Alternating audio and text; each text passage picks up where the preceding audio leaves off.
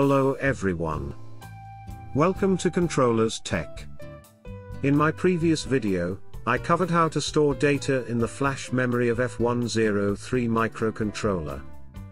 It have memory distributed in pages.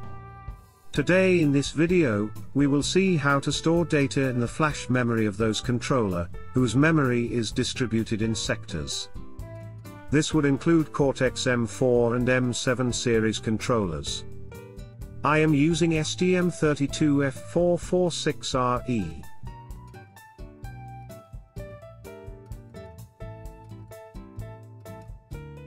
Here is the Cube MX. I am selecting external crystal for the clock. We don't need to do any setup. In the clock setup, crystal is 8 MHz, and I want the system to run at 180 MHz.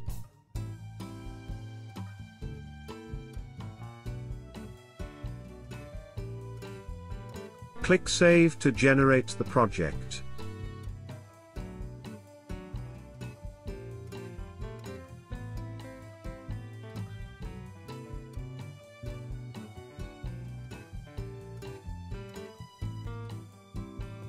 First we will include the library in the project. Copy the header file into the include folder, and C file into the source folder.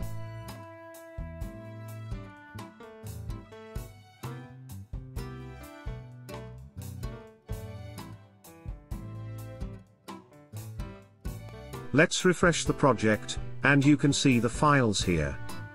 Now include the flash sector.h in the main file.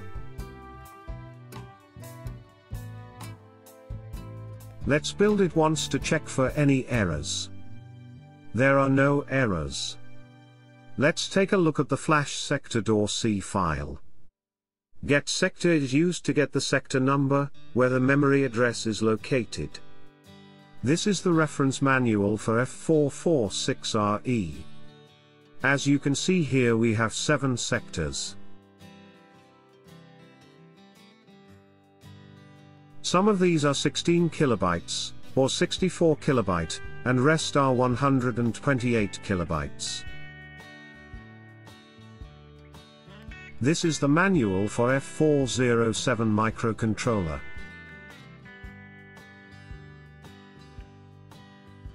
This one have 11 sectors.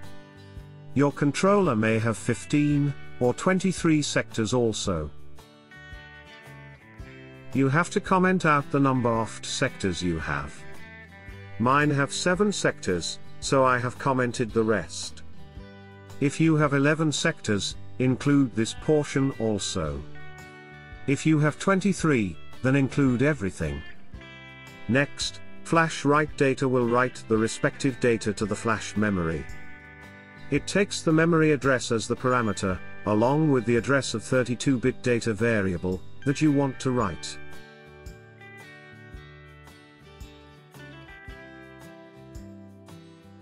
It will first calculate the number of words, based on the size of the data.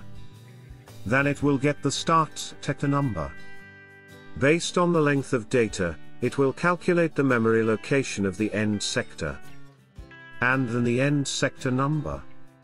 And finally, the number of sectors, needed to be written. It will then erase the required sectors, and write the data into the inetted memory location.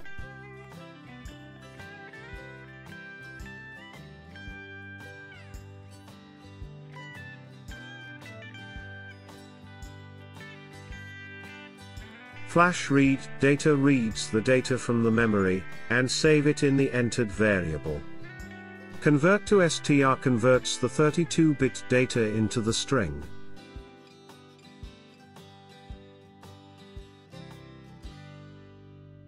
Let's start now. I am creating a 32-bit variable to store the string. RxData will store the data that we will read from the memory.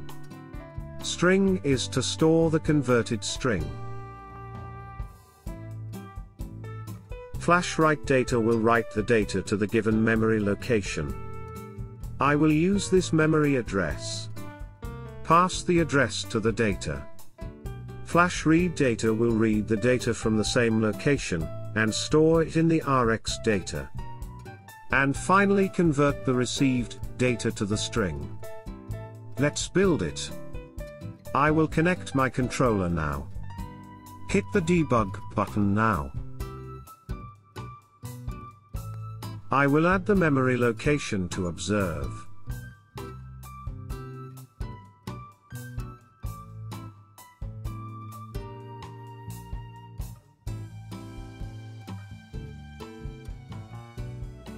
This is data from my previous exp minutes. But we are writing in this location, so that's where we need to focus. I will add a breakpoint here. So we hit the breakpoint. Let's step in.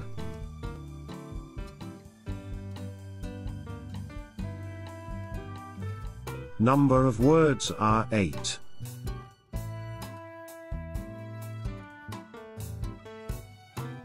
Based on the address, it have determined that the start sector is sector 4. Which is exactly, where we chose the address. End sector address will be calculated based on the number of words. And the end sector number is also the same as start sector.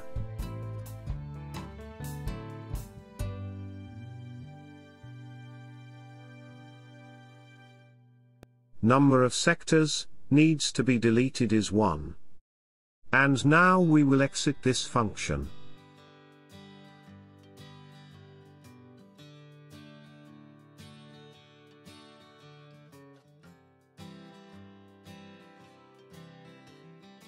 I will add Rx data in the live expressions first.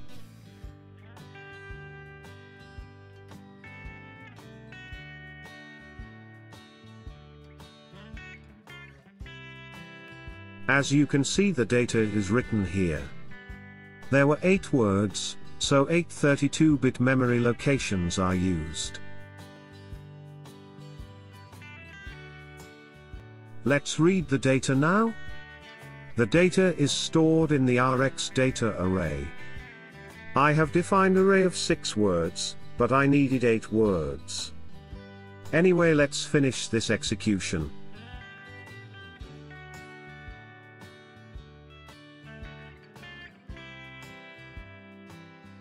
So the converted data is stored in the string, and of course, it's not the entire data because of the size of Rx data. Let me quickly correct this. I am increasing the size of the array, and string also. Let's debug now.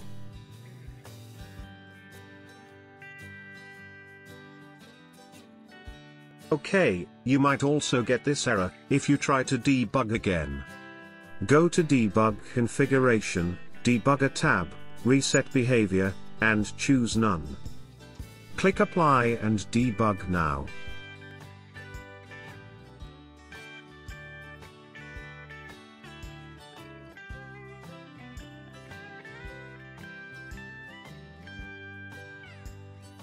Data is already stored in the location, so you won't see any change here. RX data now have all the data.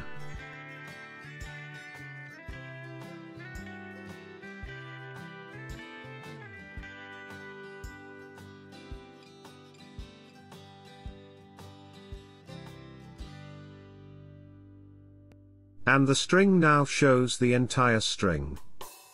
This was the result of programming flash memory from the start of the sector.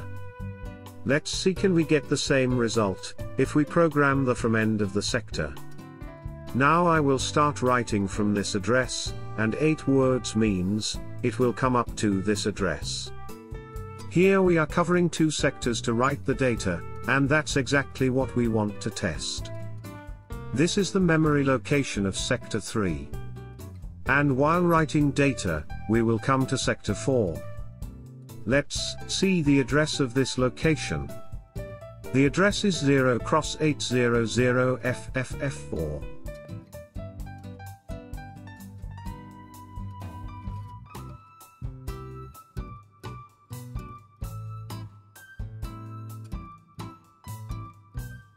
Enter the memory location in the flash write data, and in flash read data also.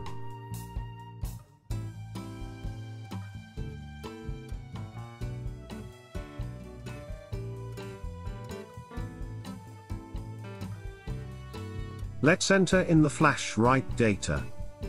The number of words are 8, as the data is same.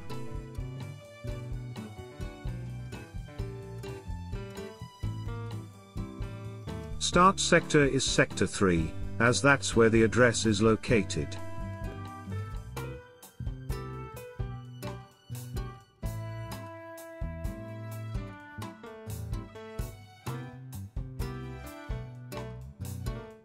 This is the address of the memory location, where the data will be written up to.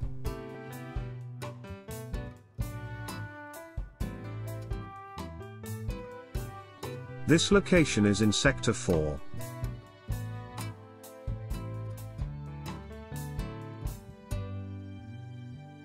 The number of sectors needed to be erased are 2 now.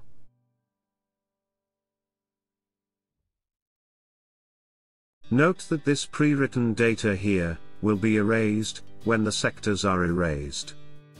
Now our data has been stored in the desired memory location, which covers two different sectors. The same data can be read, and converted to string also.